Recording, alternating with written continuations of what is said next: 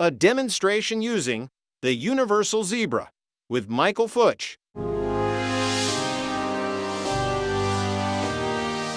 Hey guys, I'm a uh, local technician here in Northeast Florida, um, working with Universal Zebra. It's a ECM uh, motor diagnostic tool.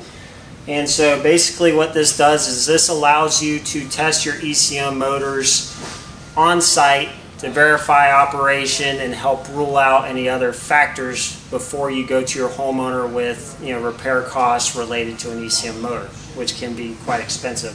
One great thing about this tool is that it does work very simply, uh, very easy to connect. Um, instructions are very easy to follow.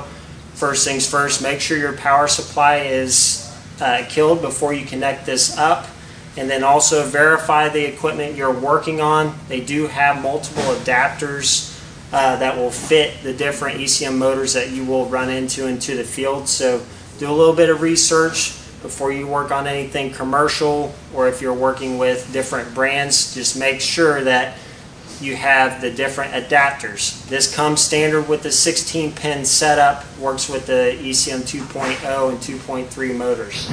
So as of right now, I do have a meter set up, which is tied into my high voltage side on my motor, as well as the amp clamps that can show you how the motor's operating as it's tested through the through the different stages of uh, testing. So out of the box, you'll have an instruction manual.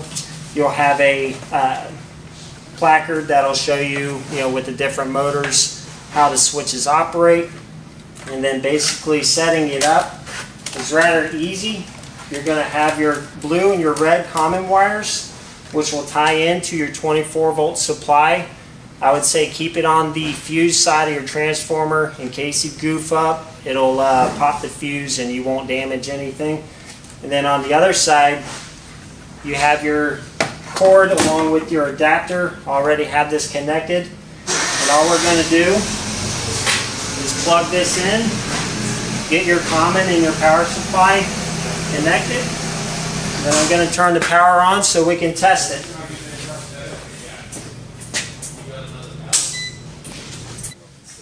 Okay, running through the testing and diagnostic of the fan motor, you can engage your different fan speeds to diagnose how the motor is running. So right now this is your fan only operation. You can see by the amp draw how this will stage up. I'm going to hit first stage cooling.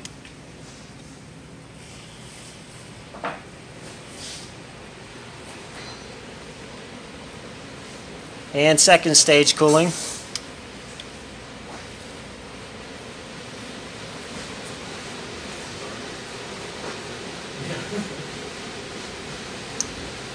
Back these off.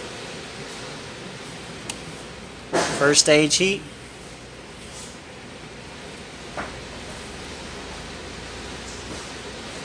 Second stage heat. Turn. That's basically all there is to this tool. Real quick and easy way to diagnose your ECM motors. Give you some confidence in the field with what you're working on. And then you can find your way towards the other components of the system and recommend those repairs as needed. Thanks for having time with us today. You can get your Universal Zebra at your local uh, supply stores. Just go see any of the guys in your area and they'll get you set up.